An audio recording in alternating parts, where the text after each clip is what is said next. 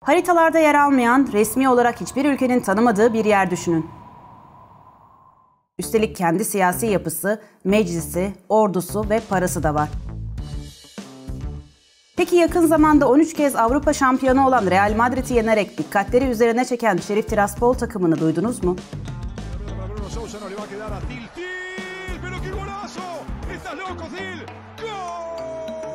İşte o takım haritalarda bile yer almayan ülkesi Transdniester'i başarıyla dünyaya tanıtıyor. Oda TV'ye hoş geldiniz. Ben Pınar Saraçoğlu. Bu videoda Moldova ve Ukrayna sınırları arasında yer alan Transdniester Sosyalist Cumhuriyeti'ni anlatacağım.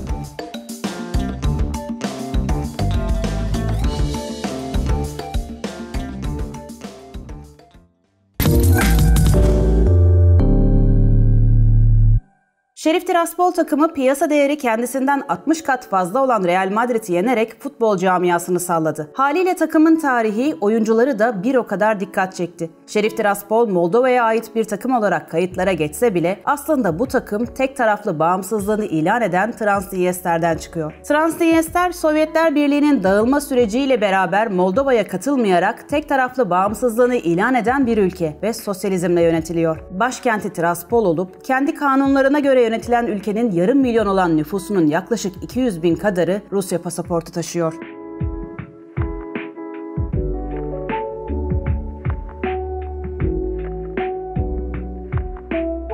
2 Eylül 1990'da bağımsızlığını ilan eden Transdniester'in ekonomisi tarım işletmeleri haricinde Şerif ailesinin yönetimiyle dönüyor. Adından oldukça söz ettiren Şerif Tiraspol takımı da bu aileye ait. Ülkedeki her binayı devlet yaptırıyor ve devlet dışında bina yaptırma şansı kimsede bulunmuyor.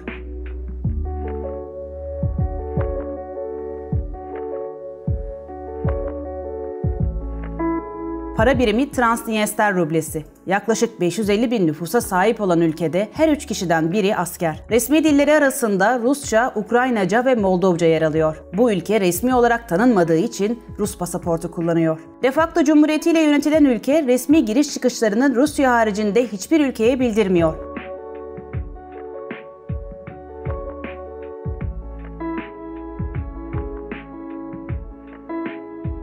Transdniester'e girmek neredeyse Kuzey Kore kadar zor. Gelecek olan ziyaretçilere süresinin yazılı olduğu bir fiş veriliyor. Belirtilen süresi geçmedense ülkeden ayrılmaları gerekiyor. Öyle ki Moldova Ligi'ndeki diğer takımlar ülkenin tanımadığı bu ülkeye pasaport kontrolünden geçerek girebiliyor. Transdniester'i daha önce duymuş muydunuz? Ya da bu ülke hakkındaki bilgilerden sizi en çok şaşırtan hangisi? Yorumlarınız varsa lütfen yazın. Videomuzu beğenmeyi ve Oda TV'ye abone olmayı unutmayın.